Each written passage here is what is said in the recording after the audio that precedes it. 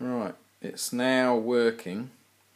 Um, to go through a right nightmare to get it to work though.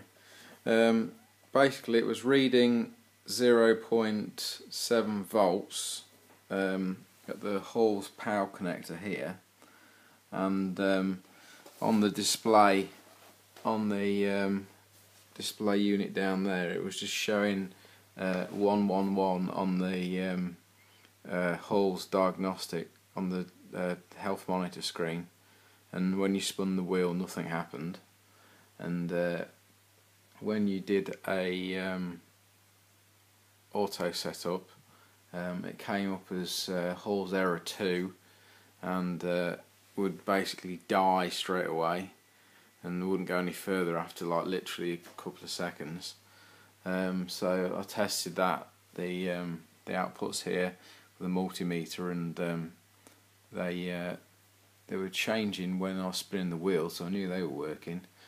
So uh, I tested the power, and that was 0.70 um, for the uh, the power coming out of the uh, controller.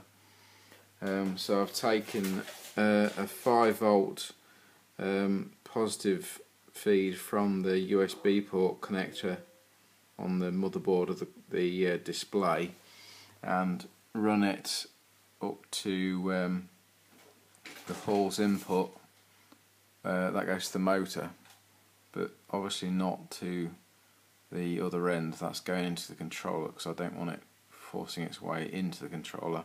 It, the power needs to go to the motor and then um, the controller will deal with the rest. And then I've created a uh, I've linked a um, ground just to make sure they're both using the same common ground and uh, hook that into the earth connector on there. And not disconnected the one to the motor though so, so they're all using the same ground. Um, and it appears to work. Um, it's passed all the auto setup and everything and seems to work fine. And um, the circuit tester says 5 uh, 4.90 volts so it's getting the right voltage now. And um, it works just fine when you uh, when you're using the throttle so no problem with that now. Um, so I think there's something wrong with inside the uh, controller circuit for the um, for the Hall's uh, power supply by the look of it. Um, but I'm going to uh, Sherwood Pines on Sunday give it a blast. So uh, I don't want to uh, take the controls to bits now.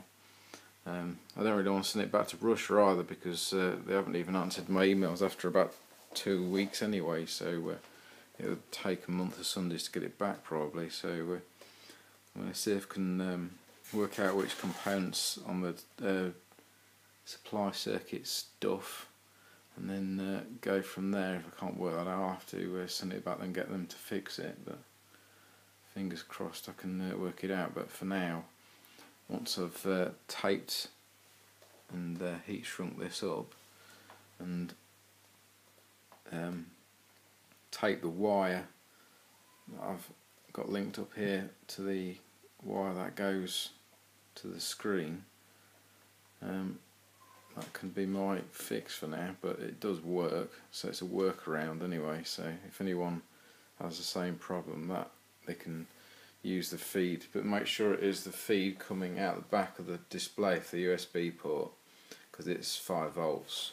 Whereas the feed going to the display as I found out when I tested it is 12 volts so you don't want to be linking into that because otherwise you'll blow your whole sensors up. But it seems to work fine with the um, the 5 volt output from the display. There you go